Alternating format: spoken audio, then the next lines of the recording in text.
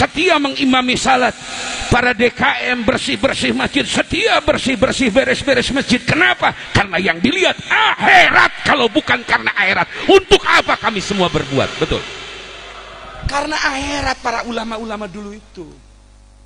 Jadi jangan dianggap ekstrim dong. Gitu aku jadi kangen Pak Harto rek.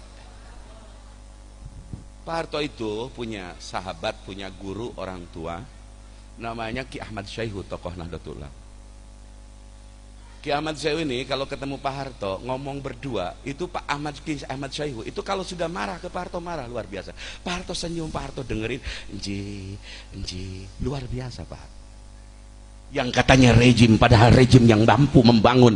Rejim yang mampu mengantisipasi pergolakan. Rejim yang katanya kata orang otoriter tapi berhasil mengamankan negara. Dari zaman Pak Harto dulu tidak pernah ada saling hina agama. Tidak ada yang melecehkan Al-Quran. Tidak ada yang melecehkan Nabi. Tidak ada yang melecehkan agama Islam. Betul apa betul?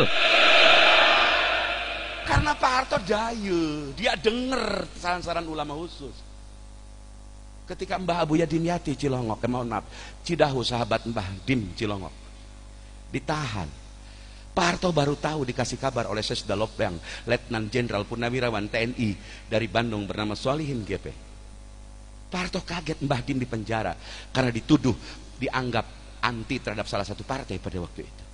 Pak Harto langsung perintahkan untuk membebaskan Mbah Dim. Hanya Mbah Dim menjawab, biarlah aku ridho memperoleh tahanan ini. Aku jadikan alat untuk tambah takorub kepada Rabbku kepada Allah subhanahu wa ta'ala. Betapa hebat Pak Harto kasih sayang.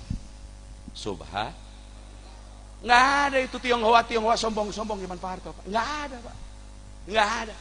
Sekarang barong saya di mana-mana pula. Luar biasa pula sekarang ini. Masya Masya Lama-lama itu Tionghoa yang datang dari RFC ke Indonesia yang kita tidak tahu jumlahnya. Besok lusa jangan-jangan mereka tentara merah. Mereka mengacak-acak semua aset kepakaian negara kita. Karena faktanya sudah masuk di tambang-tambang. Masuk di beberapa perusahaan, di beberapa pulau yang sepi. Mereka bikin anu, mereka bikin anu. Jangan-jangan lama-lama ketika Natuna besok diambil alih oleh mereka. Mereka sudah siap dengan persenjataan. Ini yang kita khawatirkan saudara-saudara. Kalau sudah begitu siapa yang akan ke depan? Yang ke depan kita kita semua nggak ada itu aciong angkiong angkiong nggak ada itu. Tai kucing semua itu. Betul apa betul? Betul apa betul? Kalau betul kau, kau kasih tahu sama opung luhut bincar itu.